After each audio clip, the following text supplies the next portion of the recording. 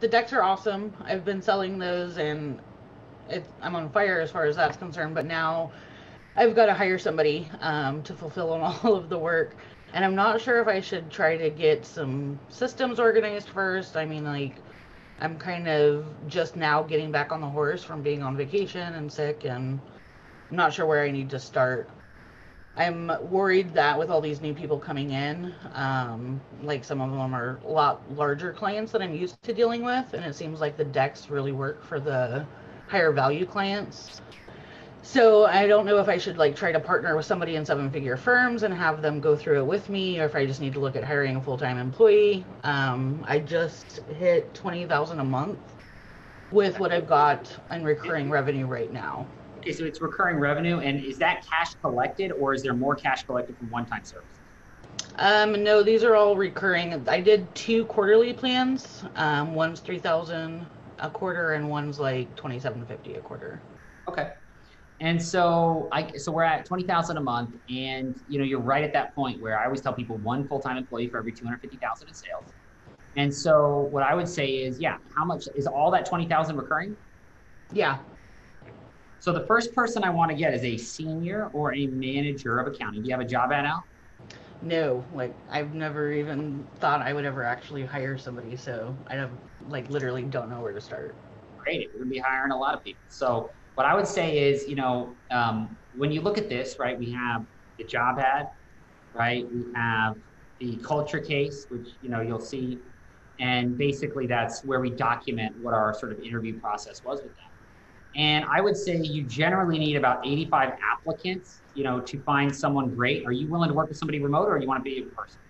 Um, no, I'm fine with remote as long as the job gets done. Yep, nationwide. And I would think about this person as a team member. So yeah, they're a full-time employee, but like this could be somebody, if you find the right person, this could be somebody you're going to share your life with. You know, you guys could be close. You guys could have, you know, a very close relationship. I mean, they, they could end up being a major part of your life. And so I would think about the preciousness of that, that person, uh, the time they're going to spend with you, your, the amount of your attention that's going to go towards them.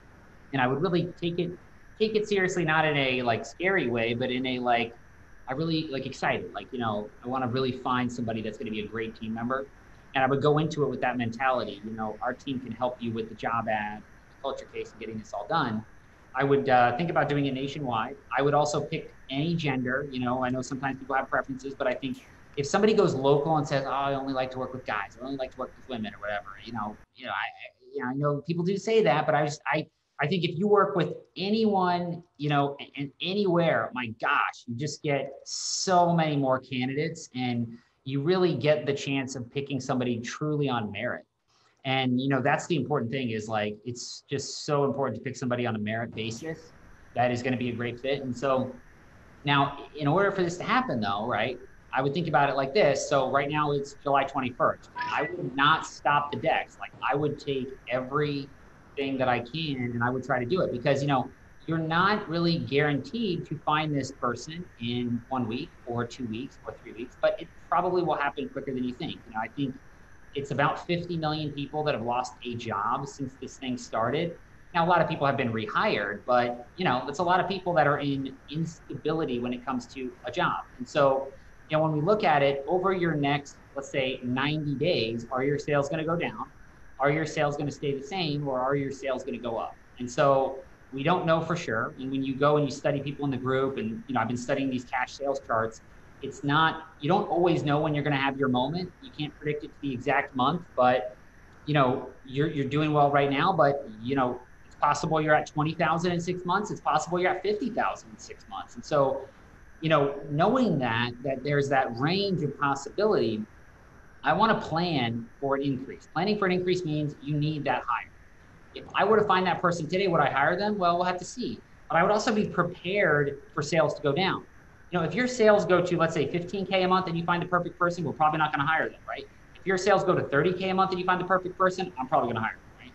Mm-hmm. And so if your sales are at the same and you find a perfect person, I'm really going to ask myself, like, okay, like, you know, can I get the sales to support that salary? because I want I want this person and I want them on a competitive salary.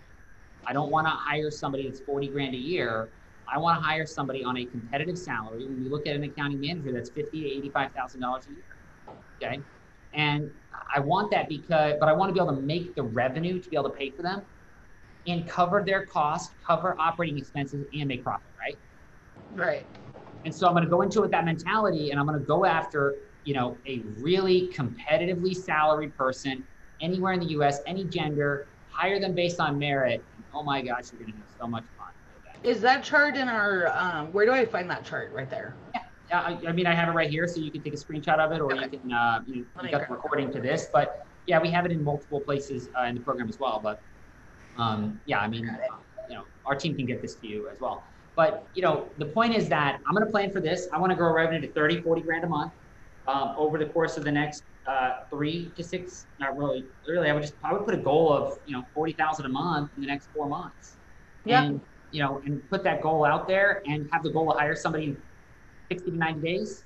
And I would create that future. If something goes wrong, then you don't need to hire them, but you need to build like I'm fine. Like, you can even hire them right now, but I think it's fun to do it where you're growing cash sales and hiring them at the same time. So I would plan on in the next 60 to 90 days getting to 30, 40 grand a month and hiring them at the same time.